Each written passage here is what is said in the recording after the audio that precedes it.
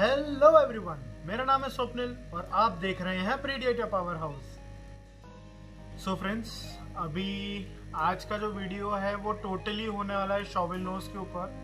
Shovel catfish shovel catfish में बहुत सारी वेराइटीज आती है बट आज जो मैं वेराइटी के बारे में बात करने वाला हूँ that is a tiger shovel catfish which is a monster variety catfish ये वीडियो पूरा एंड तक देखिए आपको पूरा का पूरा मैं आपको आ, हर एक ए टू जेड पूरी इन्फॉर्मेशन दूँगा उसके बारे में कि ये मिलती कितने की है क्या साइज़ की थी मेरा क्या एक्सपीरियंस रहा है मैंने क्या करा है क्या नहीं करा है उनको कैसे रखना चाहिए उनके टैंकमेट्स क्या होना चाहिए उनका केयर क्या लेवल केयर लेवल क्या होना चाहिए and so on and so forth अगर आप लोग को मेरा वीडियो पसंद आ रहा है तो तुरंत उसे लाइक कर दीजिए शेयर कर दीजिए और कमेंट भी कर दीजिए। और अगर आप लोगों ने मेरे चैनल को सब्सक्राइब नहीं किया तो तुरंत सब्सक्राइब भी कर लीजिए और वो बेल आइकन को हिट कर दीजिए ताकि जब भी मैं अपने न्यू वीडियो के साथ मेरे चैनल पे आऊँ, ताकि आपको उसका भी नोटिफिकेशन तुरंत आए और आप मेरे वीडियो का लाभ उठा पाए। तो चलिए, अब आगे चलते हैं और वीडियो शुरू करें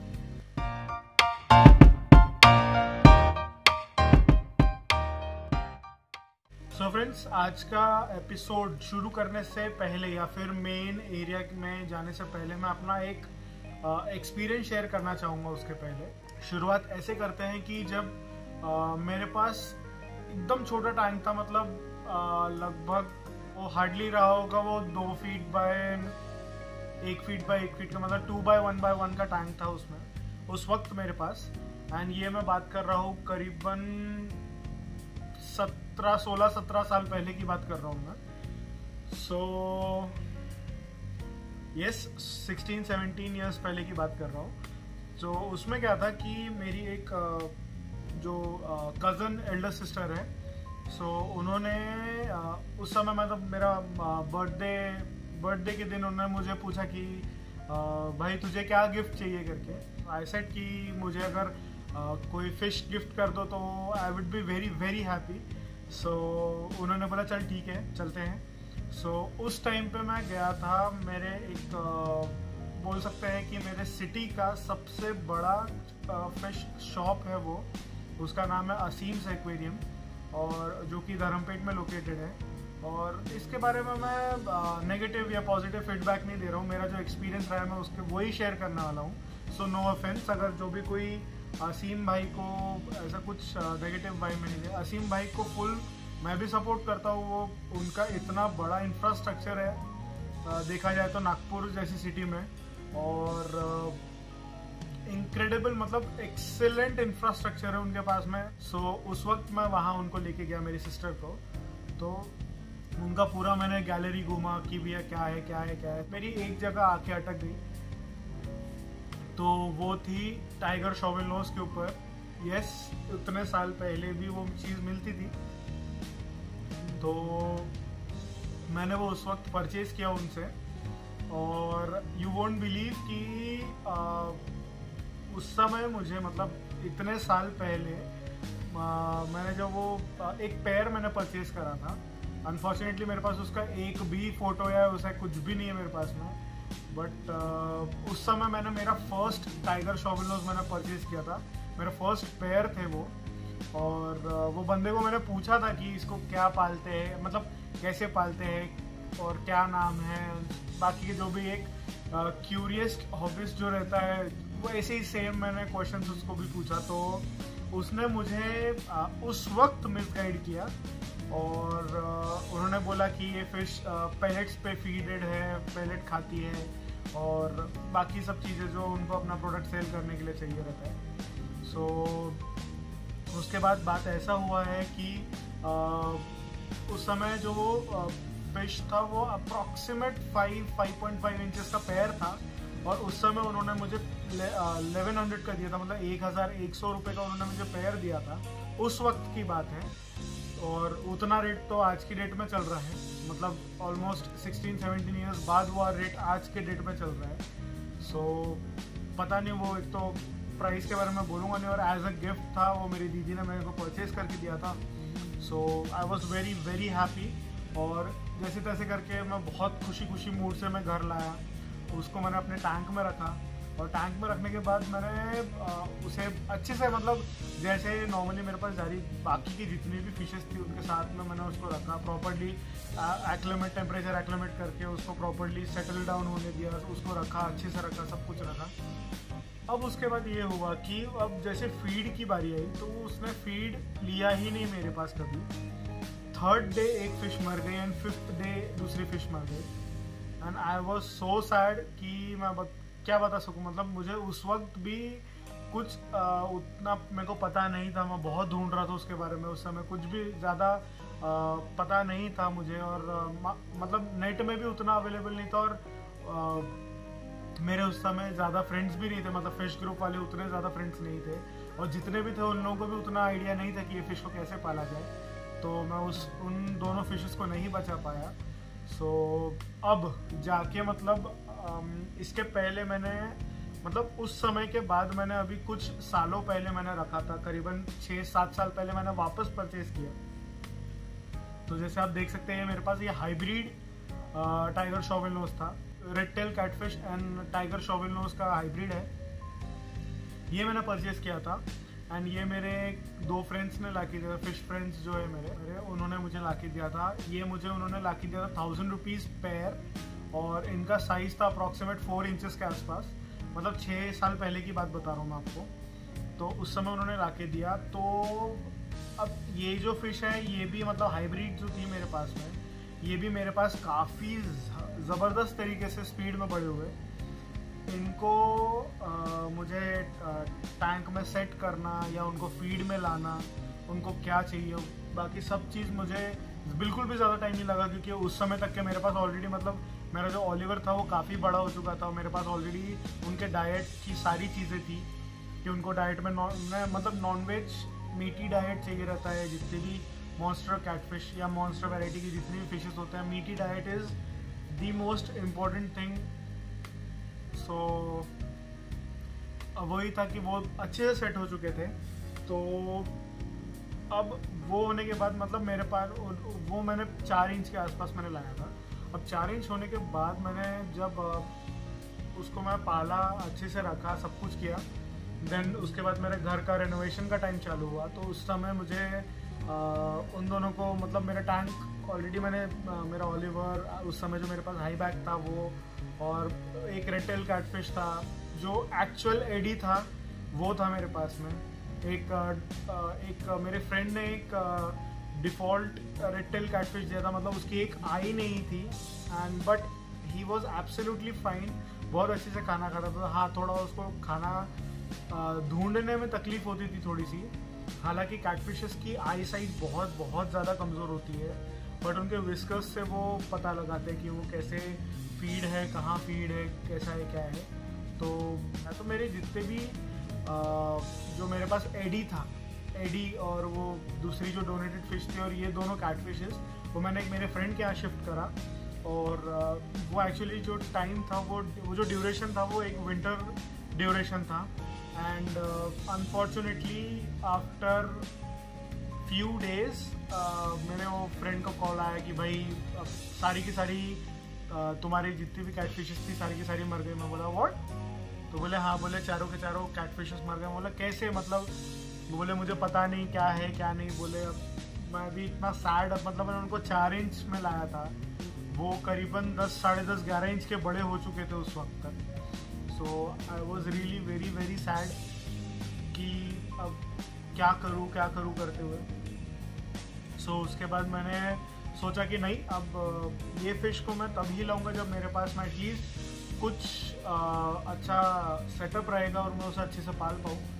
तो देन उसके बाद मैंने अभी कुछ आ, समय पहले मतलब कुछ महीने पहले मेरे एक फ्रेंड हैं तो उन्होंने मुझे टाइगर शॉबिनोज उन्होंने मुझे डोनेट किया क्योंकि वो बंदा आ, बाहर जा रहा था कहीं तो भी। एंड ये बंदा वही है एक्चुअली वो मेरा कस्टमर है एंड ये बंदा वही है जिसने जिससे मैंने मेरा जो जायंट स्नेक हेड था किलर मैंने उससे रिटर्न लिया था। तो ये सेम बंदा है, उसी से मैंने लिया। तो वो बंदे ने मेरे को देखे गया भाई, कि बोले, मैं बाहर जा रहा हूँ, मैं उसको नहीं रख पाऊँगा, उस पर ध्यान नहीं दे पाऊँगा मतलब घर वाले ध्यान नहीं दे पाएँगे। सो मैं बोला, चल, ठीक है, दे दो। तो उस समय मेरे पास में मेरा जो डी आई वाई टैंक है थर्मोकॉल टैंक वो उस समय खाली था। एंड जैसे आप देख सकते हैं कि उस समय का फ़ोटो है, जब मैंने उसको, उसने मुझे डोनेट किया था तो वो नियर अबाउट चार, सवा चार इंच के आसपास का था। तो अब आते हैं रियल उसके ऊपर की एक्चुअल चीज़ की, उसका क्या साइज़ है, क्या है, कितना है, बाकी की सारी इन्फॉर्मेशन जो मेरे एक्सपीरियंस के रिगार्डिंग है। और ये वीडियो एक्चुअली बहुत ज़्यादा रिकमेंडेड था मुझे काफ़ी लोगों ने बोला कि भाई टाइगर शॉविनोस के ऊपर आप वीडियो बनाइए। बट वो मेरे लिए पॉसिबल नहीं हो पाया क्योंकि उस समय तक के मैंने आ, मतलब रिसेंट क्या बोल सकते हैं रीसेंट एक्सपीरियंस नहीं लिया था मुझे। तो अब एक्सपीरियंस आ चुका है मुझे थोड़ा बहुत मतलब पहले का भी था दैट इज़ प्रिटी ऑब्वियस और अभी का भी है। So I am pretty sure कि मैं आप लोग को एटलीस्ट इतना तो डिलीवर कर पाऊँ कि आप लोग डेफिनेटली एक हेल्दी टाइगर शॉविलोज आप रख सकें पाल सकें बेबी साइज़ से। सो so, सबसे पहली चीज़ टाइगर शॉविलोज आपको मार्केट में कौन से देखने मिलते हैं? So that is pretty common which is known as tiger shovelnose जो मेरे पास में है। एंड टाइगर शॉविलोज से मिलता जुलता एक और शॉविलोज आता है that is spotted shovelnose which is very very rare in Indian market and spotted shovelnose जो है, वो एक्चुअली टाइगर शॉविलोज के साइज़ से एटलीस्ट एक से डेढ़ फीट और बड़ा होता है। तो अब जैसे मैं साइज़ के बारे में बताऊँ आपको कि जो टाइगर शॉविलोज है टाइगर शॉविलोज आराम से मतलब तीन फीट सवा तीन फीट डोमेस्टिक में पहुँच जाता है। और अगर वाइल्ड की बात किया जाए तो बाकी आप गूगल कर सकते हैं। यस मैं आपको रियलिटी की बात बताऊँगा। बाकी जो चीज़ें जो है वो गूगल में अवेलेबल है। तो डोमेस्टिक में आराम से तीन, सवा तीन फीट आराम से पहुँच जाएगा। मैंने एक बात और बताना चाहूँगा कि मेरे पास एक गलती से स्पॉटेड शोविनोज आ चुका था बट अनफॉर्चुनेटली मेरे को समझ में नहीं आया कि क्या था, क्या, वो क्या चीज़ है, इतनी रेयर है, वो मिलती नहीं है। और उसके बाद मैंने वो एक बंदे को सेल आउट कर दिया। और उसके बाद मैं अभी तक ढूंढ ही रहा हूँ, पछता रहा हूँ उस चीज़ को कि भाई वो क्यों मैंने दे दिया, क्योंकि स्पॉटेड शोविल नोज़ मार्केट में देखने मिलता ही नहीं है।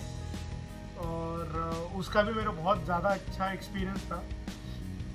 तो let's come back to the main information वाला पार्ट तो उसमें ऐसा है कि जैसे डोमेस्टिक में अगर ये तीन से सवा तीन फीट तक के बड़ा होता है तो जो स्पॉटेड वाला है वो आराम से चार फीट तक के टच कर जाएगा आपका अगर आपने अच्छी जगह दी है। और एक चीज़ नोट कर लीजिए कि मैं बार बार नहीं बोलूँगा कि आपको स्पेस देना चाहिए, बड़ी स्पेस देना चाहिए। अगर आप लोग मॉन्स्टर फिशेस पाल रहे हैं तो आप लोग उतने सेंसिबल हो कि आप लोग को पता है कि आप जो भी फ़िश पाल रहे हैं, वो कितनी बड़ी हो सकती है उसका फुल पोटेंशियल क्या है तो उसको कितनी बड़ी स्पेस लग सकती है। तो उसके बारे में मैं ज़्यादा बोलूँगा नहीं, क्योंकि जितनी बड़ी जगह दोगे, उतना बेहतर रहेगा। तो अगर बड़ा पीस देखना और मैं जो बड़े, जो पीस है टाइगर शोबल नोज़ का मैं बहुत बड़ा फ़ैन हूँ। वो है सत्यजीत भाई के पास में जो टाइगर शोबल नोज़ है। I I am really in love with his shovel nose बहुत ज़्यादा खूबसूरत है बहुत ज़्यादा मतलब अच्छा खासा बल्कि है अच्छा खासा साइज़ है और बहुत सुंदर है। आई गेस शायद इंडिया में इतना बड़ा पीस नहीं होगा किसी के पास। एंड uh, अगर ऐसी कुछ बात है तो I am really very happy कि मैं किसी एक से ऐसे टच में आया हूँ कि उसके पास उतना बड़ा पीस है। सो so, अब मैं अपने बारे में बताता हूँ कि अब रही बात अब बात बताते जैसे मैंने आपको नाम बता दिया वैरायटी कौन सी अवेलेबल होती है। और हाँ अब चलिए मैं अभी प्राइस के बारे में बताता हूँ। अभी जैसे प्राइस जो है आ, मार्केट में जो प्राइस चल रहा है टाइगर नोज़ का दैट इज़ अप्रोक्सीमेट मैंने मतलब 350 टू 550 या 600 के बीच में ही रेंज करता है ये प्राइस और uh, ये मैं शायद होलसेल प्राइस बता रहा हूँ रिटेल में थाउज़ेंड प्लस चल रहा है. सो होलसेल uh, में आपको ये प्राइस बताया मैंने आपको. तो आप जैसे अभी प्राइस के बारे में हो गया तो अब आते हैं उसके डाइट के ऊपर. अब जैसे मैंने स्टार्टिंग में आपको बताया है कि monster variety catfish monster variety के जितने भी फिशेस होते हैं, वो मीटी डाइट पे रहते हैं। एंड स्पेशली कैटफिशेस जो होते हैं, वो मीटी डाइट ही 99.99 परसेंट मीटी डाइट ही प्रीफर करते हैं। सो यस मीटी डाइट में उनको कुछ भी चलेगा। कुछ भी मतलब लिटरल सेंस में कुछ भी मतलब लाइव से लेकर फ़िश फिलेट से लेकर प्रॉन से लेकर चिकन लिवर से लेकर चिकन के पीसेस से लेकर गोट हार्ट से लेकर ईच एंड एवरीथिंग मतलब कुछ भी खा लेंगे वो। तो फ़ूड का तो कतई प्रॉब्लम नहीं है फ़ूड रेंज अच्छा खासा है। और यस पहले ट्रेन होते हैं, हो सकते हैं बट आई डोंट फील कि उन्हें पहले ट्रेन करना चाहिए। क्योंकि शेर को अगर आप रेगुलर घास खिलाओगे तो आगे क्या होने वाला है? एंड रिज़ल्ट आप लोग को पता ही है। सो so, वो चीज़ नहीं बोलूँगा मैं। तो अब रही बात उसके ग्रोथ रेट की। तो ग्रोथ रेट के बारे में मैं ये बोलना चाहूँगा कि ग्रोथ रेट मुझे पर्सनली पहले और आज की डेट में जो मिला है वो है करीबन डेढ़ से दो इंच पर मंथ अच्छा खासा ग्रोथ रेट मिला है मुझे। अभी जो मेरे पास जो पीस है वो अभी अप्रॉक्सीमेट आठ से नौ इंच के आसपास का पीस हो गया है अभी वो। और हल्का सा मतलब उसका जो स्नाउट है वो स्नाउट हल्का सा ऐसा बेंड है क्योंकि जब मुझे वो मिला तो ऑलरेडी उसका पहले से ही ऐसे बेंड स्नाउट था उसका। सो so, स्नाउट मतलब उसका फ्रंट बीक जो है मतलब उसका बीक बोल सकते हैं ना फ्रंट माउथ जो है उसको उसको स्नाउट बोलते हैं। तो स्नाउट उसका एरिया हल्का सा बेंड है तो अभी वो चीज़ बढ़ ही रही है उसकी। बट उससे उसका खाना खाने का स्टाइल कुछ भी नहीं बदला है ना वो उसका ऐसा भी नहीं है कि वो उसका फ़ी, फीडिंग कंजम्पशन कम हुआ है बिल्कुल भी नहीं। तो सब बढ़िया है। अब रही बात टैंक मेट्स की तो टैंक मेट्स के बारे में ये बोलना चाहूँगा कि मॉन्स्टर वेराइटी की जो जितने भी फिशेस हैं उनको मॉन्स्टर वेराइटी के फिशेस के साथ रखना बेहतर है क्योंकि एग्रेशन लेवल वो मेंटेन हो जाता है। मैं इन डेप्थ में नहीं जाऊँगा एकदम क्रिस्प एंड शॉर्ट में बताऊँगा कि मॉन्स्टर वेराइटी कैटफिश के साथ मतलब मॉन्स्टर वेराइटी फिशेस के साथ में ही रखिए। एंड बी सेंसिबल कि आप जो भी फ़िश के साथ उसको रख रहे हैं तो वो फ़िश का ग्रोथ रेट और वो फ़िश आपकी फ़िश का ग्रोथ रेट लगभग सेम ही हो या 19-20 का फ़र्क हो, उससे ज़्यादा डिफरेंस नहीं होना चाहिए। और प्लस एग्रेशन लेवल और एग्रेशन लेवल उनको से देख के मतलब आप बहुत आ, मतलब एग्रेसिव कोई सिकलेट अगर उसके साथ रख दिया तो डेफिनेटली मतलब कुछ भी गड़बड़ हो सकता है। सेंसिबली आप रखिए बाद में टैंक में मतलब आप बहुत कुछ चीज़ें रख सकते हैं। अब जैसे मेरे पास में जैसे आप टैंक में देख सकते हैं हरी चीज़ मतलब हर चीज़ है उसमें मतलब ग्रीन बाइशर से लेकर लीमा कैटफिश से लेकर पंगेशियस शोविलोस कैटफिश हाइब्रिड से लेकर शॉर्ट बॉडी पंगेशियस अल्बाइनो है वो है और बाकी के जो फिशेस हैं मतलब सभी है उसके साथ में। और ये जितने भी जार्डीनी अरवाना है मेरे पास में गोल्डन पर्ल और तो ये सब अरवाना मतलब ये जो जितने फिशेस है, वो सम सबके सब एक ही रेट में ग्रो करने वाली फिशेस हैं। इसलिए मुझे पर्सनली कोई प्रॉब्लम नहीं आ रहा है। सबका डाइट भी एक ही है और सभी मीठी डाइट वाले फिशेस हैं। और तो यस ये था डाइट के बारे में। अब रही बात उनको बैकग्राउंड या उनका टैंक एनवायरनमेंट क्या चाहिए? टैंक एनवायरनमेंट के लिए बोलूँगा, अब मैं प्रेफर करता हूँ कि बेयर बॉटम टैंक रहे। बट एक चीज़ मैं ये बताना चाहूँगा कि अब जितने भी कैटफिशेस होते हैं, वो नॉक्टर्नल होते हैं। Majority of the catfishes nocturnal होते हैं। तो यस टाइगर शोवेलोस भी नॉक्टर्नल कैटफिश है। रात को या अंधेरे में बहुत ज़्यादा एक्टिव हो जाता है। बाकी लाइट के टाइम पे या डे लाइट के टाइम पे वो बैठे रहेगा एक ही जगह ज़्यादा मूवमेंट नहीं दिखाएगा। बट जैसे ही अंधेरा हुआ या रात हुई तो उनका मूवमेंट ज़बरदस्त तरीके से बढ़ जाता है और वो हंटिंग में निकल निकल जाते हैं। तो उसमें ऐसा है कि आप लोग उसके एनवायरनमेंट के लिए आप वहाँ पे एक पीवीसी का आ, कुछ पीवीसी का पाइप डाल सकते हैं। जिसमें वो आराम से चिपके रहे या कोई केव या पेबल्स पे पत्थर पत्थर ऐसा कि वो अगर थोड़ा स्ट्रांगली मूव करे तो वो मूव ना हो पत्थर, वरना उसी के ऊपर गिर जाएगा। तो वो भी ना हो। और साथ ही साथ में जो उसको डार्क एनवायरनमेंट चाहिए रहेगा तो आप अगर उसको फुल टैंक को सिर्फ़ फ्रंट विंडो छोड़ के बाकी पूरा टैंक ब्लैक विनाइल से कवर कर दो या ब्लैक पेंट कर दो तो भी चलेगा। मतलब वो बहुत अच्छे से एटमॉस्फेयर में घुल मिल जाते हैं, बहुत जल्दी सेटल हो जाते हैं। और कैटफिश के बारे में, इसके बारे में स्पेशली मैं एक चीज़ बोलना चाहूँगा। एंड ये जो चीज़ है, ये सारी कैटफिश के लिए मैं पर्सनली फॉलो करता हूँ। तो वो चीज़ ये है कि डिम लाइट दीजिए। लाइट दीजिए, मैं मना नहीं कर रहा हूँ बट लाइट एकदम डिम होना चाहिए।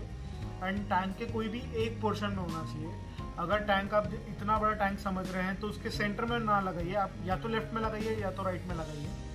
ताकि एक पोर्शन शेडेड रहे और एक पोर्शन में लाइट आए, ताकि आपका जो कैटफिशेस हो, आपके जितने भी कैटफिशेस हैं, या तो आप जैसे टेल पकड़ लीजिए या फिर ये टाइगर शोबिनोस पकड़ लीजिए दे लव डार्कनेस मतलब बहुत अच्छे रहते हैं और उनका एक्चुअल लुक या उनका एक्चुअल बिहेवियर निखर के आता है अंधेरे में। तो यस यही बात थी।